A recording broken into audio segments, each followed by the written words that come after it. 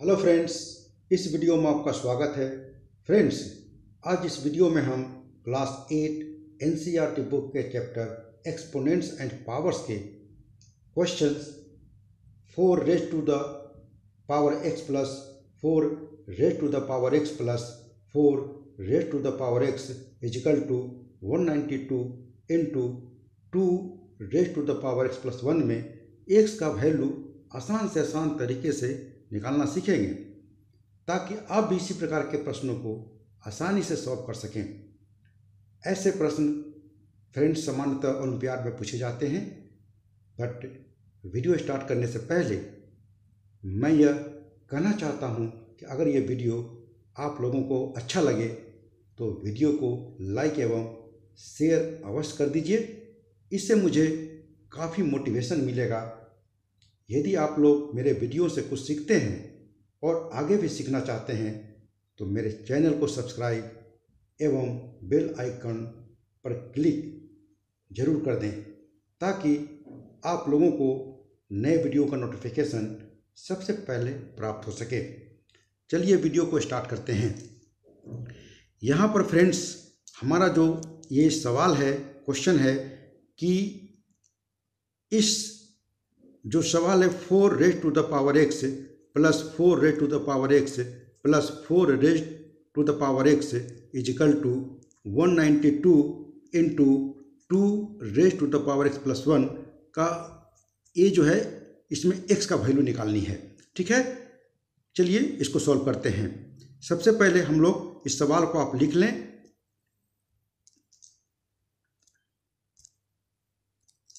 कि यहाँ पर हम लोग four raise to the power x plus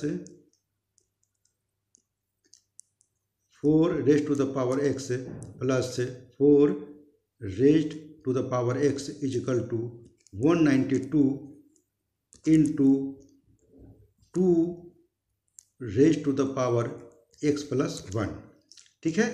अब हम लोग क्या करते हैं? आगे का जो स्टेप होगा वो यहाँ पर जो है हम लोग इसको ऐसे लिख सकते हैं। Four raise to the power x into bracket के अंदर आपका हो जाएगा one plus one plus one bracket close is equal to one ninety two into two raise to the power x plus one ठीक है? अब यहाँ पर क्या करेंगे?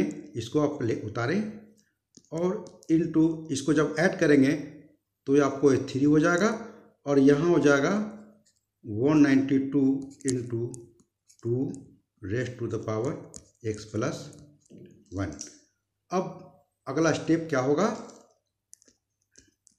कि इसमें इस थ्री को, इस थ्री से वन नाइन्टी टू को काट दें। ये कटेगा, तीन छः अठारह और तीन चौके बारह, यानी सिक्सटी फोर बार में कट जाएगा ये।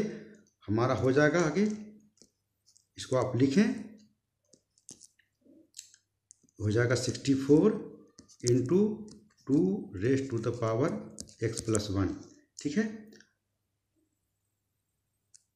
अब यहाँ पर एक लॉ ऑफ़ एक्सपोनेंट कहता है कि ये जो हमारा आप देख रहे हैं a raise to the power m पर एक पावर और है तो ये हो जाता है a raise to power m into n इसी लॉ का हम यहाँ पर यूज़ करेंगे।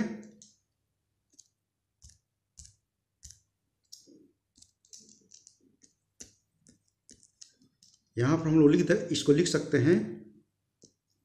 इस रूप में आप लिख दें। और ये हमारा जब इसको फैक्टाइज करेंगे इसको तो आपको मिलेगा two raise to the power six और यहाँ इंटू हो जाएगा, ये आप जो करते हो आप लिख दें ठीक है? अब इसके बाद अगला स्टेप हमारा होगा नेक्स्ट स्टेप यहाँ पर आप देख रहे हैं, ये चीज़ को देखें तो यहाँ पर एक और लॉ ऑफ़ एक्सपेरिमेंट कहता है कि a raise to the power m into a raise to the power n is equal to होता है a raise to the power m plus n हम लोग अब इसी लॉ का यूज़ करेंगे यहाँ। यहाँ आप जो करते हैं लिख दें आप इसको। अब यहाँ हो जाएगा two raise to the power six ये दोनों पावर को आप ऐड कर दें। तो इतना मिलेगा, ठीक है?